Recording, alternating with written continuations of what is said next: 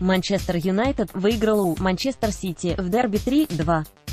В конце матча горожане претендовали на пенальти после подката Эшли Янга под Серхио Агуэро, но арбитр Мартин Аткинсон не поставил на точку. Экс-форвард Сити Марио Балотелли возмутился этому факту.